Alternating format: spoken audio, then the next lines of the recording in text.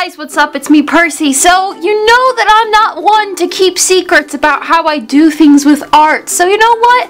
I was gonna let you all in on, it's not really secret, it's just a technique that I figured out and I really like it and then other people kind of like it too, so I kept going with it.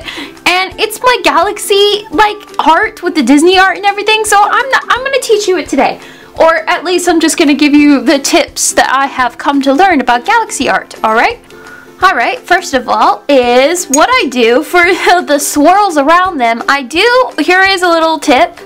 I do put this stuff on my characters now. I've recently discovered that putting this stuff is really going to save me time and it's going to uh, save the painting itself because there are so many moments when I completely mess up and I get the swirls on my characters and everything or I can't do the swirls as well and everything. It's great. It's called Masking Fluids by Winsor & Newton. I picked mine up from Michaels. You can pick it up from Michaels. I'm sure you can purchase it on Amazon. So, but what it does is, as you can see, it gives this nice little coat on there and then later on I can paint my background. None of the paint is going to get on my two characters as you're about to see and then I can peel it right off later and you'll see that later as well.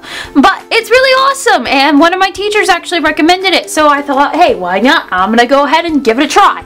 So what the thing is with this is I just like usual I get a little bit of water and I pick a color and then I just make a swirl. Like, okay, I know that I, I want to swirl. It doesn't matter where the swirl goes. Maybe I want my swirl to start back here. And then I want it to come over here and then swirl back up this way or something like that. And then I just add a bunch of water. And it doesn't matter how big my swirl is, I just make this gigantic swirl. And y'all have watched all my videos before about all my little tidbits and everything about watercolor and everything and you just see that I just keep wetting it around my characters and everything. You see how it's getting on the masking fluid is protecting my two characters from getting any color on it. But that just makes my swirls a little bit more accurate and a little bit more symmetrical on each side. It's fantastic material and I think everyone should give it a go. And of course, alright. So now I've got this part. I'm going to jump back over here and I'm to grab a little bit of purple and throw that in the works as well. You've seen my Galaxy art tutorial and that's basically just what I'm doing. I'm just playing and I'm messing around. I'm pushing the colors around, adding more colors to it. The only colors I do stick to are the blues and purples and everything. So that's how I do my swirls. So basically, like I said, watercolor is built up on layers. And eventually, I'll come back after the swirl is done. I'll just keep adding lots and lots of water. It's like a wet on wet effect. That's what it's the technical term is called.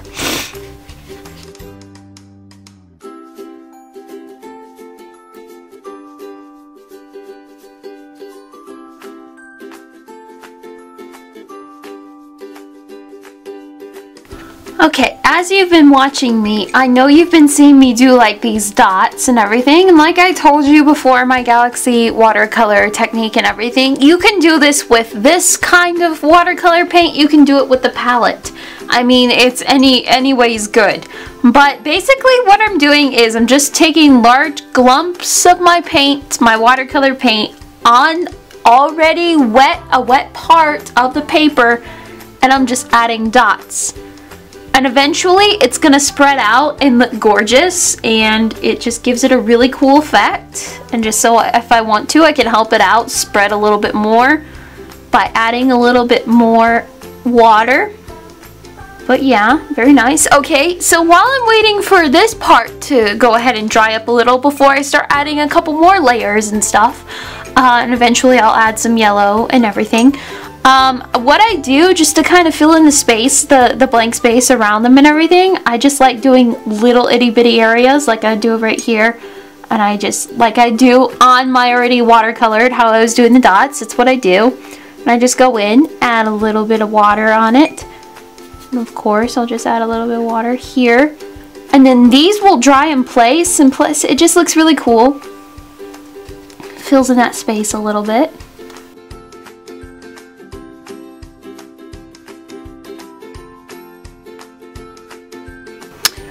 Alright, for the second layer, now that this is dry, and to speed things up a little bit, I took my blow dryer, of course, and I just sped it up and just dried it out just a little bit. I went ahead and I pulled my old paints, my palette paints, and you're, it's just the same. See, it's just going to be just as fine on here. And it makes such a pretty difference and everything. And just to show, I know some of you guys don't have the liquid watercolor, so I went ahead and I pulled my palette just to show you guys that any paint works with this technique, of course. And then basically just going, doing my second layer and just adding a little bit more swirls to it, making it pretty. Okay. Nice and fun. Here's what I like to do, just for a little bit of funsy since we're out in the middle of the galaxy. I do like putting little streaks of yellow everywhere just to give it a fun little green glow to the blue and just to show a little bit of stars peeking through of course. Once again, gouache by Winsor & Newton. I strongly suggest if you're into watercolor to get some of this stuff. It does beautiful things. And it's only like seven bucks and I got it from Michael's or you can order it from Amazon, I'm sure. If you don't have time to go to Michael's or Hobby Lobby or anything like that, I'm sure there's a way to order it online. I cannot put the cap on this. Okay. But what it does, once I do have my good like couple of layers of my swirls down, before I get really heavy on my gouache and everything, I do go to the places that is still damp and I do blot it out like that. Just because, okay, can you see that? I gotta move some light so it's not so shiny. Okay. But I do go ahead and I blot it out just like that, just to give it a little bit of cool, like it'll white out these areas a little bit thing and it looks like cloudy skies like when you see in galaxy pictures. So that's what I really, really like when it does. Plus it just looks really cool when you apply it on and it just looks like starburst almost. And I wish it would stay like that.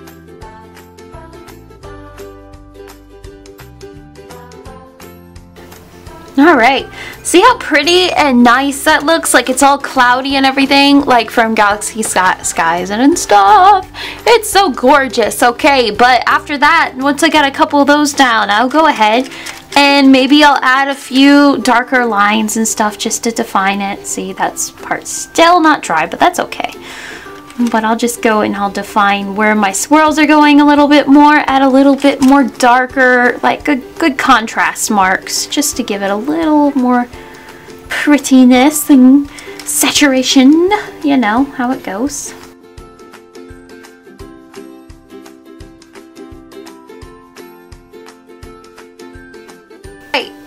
I've got my swirls gone down, then that's when I start putting some, I take my gouache, and that's when I start making some good little pretty trails of stars just like that. Doesn't matter how big or small they are it's just trails and they're going everywhere and they're just flowing with the swirls that I've already made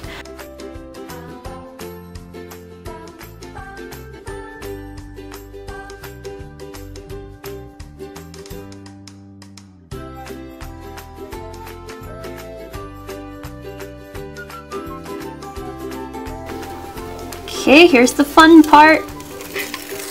Take off the masking. So much fun. So gross, but so much fun. You can see the masking fluid does not always work as well because there are some spots. I have noticed that. It's okay. It doesn't bother me at all. I'm not, I'm alright with it. But anyways, I'm going to jump back to my liquid paints over here my palette over there because I have the colors that I want over here already mixed into place just because I like it. Okay, now when you see my characters and everything on Instagram, if you follow me on Instagram, I highly suggest that you do. But when you see my uh, Instagram posts and everything, you see that I take a piece of their clothing. It doesn't matter what piece and everything. Um, it's just I have to make a galaxy portrait out of their clothing and everything. So of course, alright, I've got some blue over here. So I want to come over here and I'm going to make Wendy's dress blue. But as you have seen, I have made another Galaxy tutorial and you see how I just, how I make the splotches and everything. Switch to my big brush. I make, the, like I said, it's the wet on wet effect and be very, very careful with Peter's hand. So right, I'm going to get this area nice and wet and everything. And this nice pretty blue and I'm just bringing it out all over the place.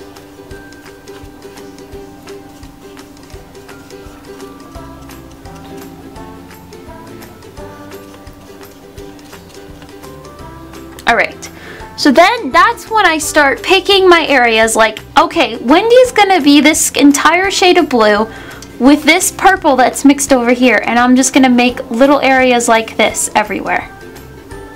And see how it's doing that and it'll dry night. I keep putting wet on top of it, the wet on wet effect. It's in my other tutorial if you haven't watched it. I so suggest watching that before watching this.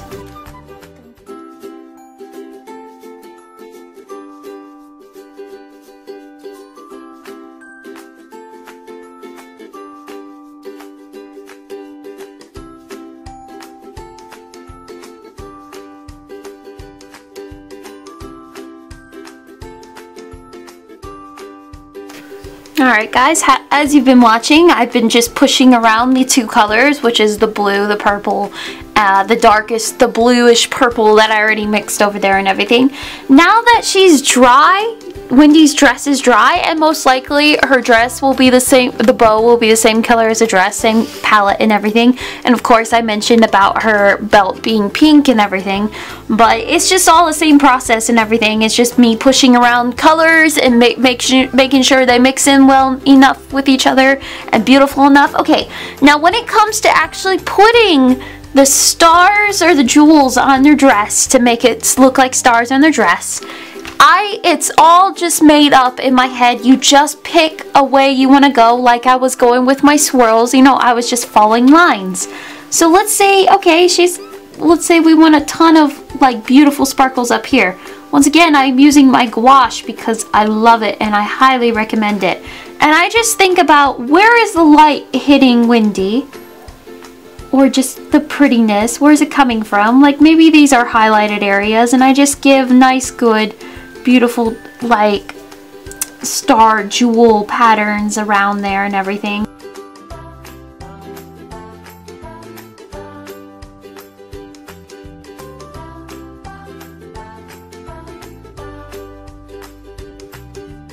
So there you go guys, that's the breakdown of my process and everything. Obviously there's still a lot to be done on this painting. Of course they've got skin colors, Peter's gotta be his own palette of galaxy colors, but it's all the same process and I just jump around and I make patterns like these. Once my gouache dries that I've already applied on Wendy's dress, I still have this side, but eventually I'll jump back and forth while I'm waiting for this gouache to dry. I would usually come over to the side and I would go ahead and I'd start applying little sparkles on that side.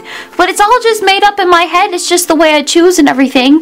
And just, yeah. So it's easy, it's fun. You just use your imagination. There's no there's no hard technique. You can do it with any watercolor you choose or whatnot. And I'm sure if you follow me on Instagram, you're going to see this finished product and everything. But I just wanted to teach you guys as a more of a tip tutorial because you guys have been asking me on my Instagram and Twitter and everything, asking me, can you show us how to do your galaxy technique? So here it is, guys. I don't hide any secrets. I'll probably go back and I'll touch these stars up and everything, whatever. It's just the whole process. These um these pieces do actually take me a lot more time other than regular pieces that I draw and doodle and paint and stuff. Just so, yeah. But I hope this was helpful and I hope you try it out because it's a lot of fun and once you get it down to like that, then it's really easy to go ahead and do it and you make some really beautiful creations out of it whatever, but yeah. I hope you guys have a great weekend, and I will see you on Tuesday. Oh, and I apologize for my nails. I have a bad tendency of painting them and then peeling the crap out of them, as usual. But yeah, have a great weekend, guys. and I hope you had a great first week of school. Bye!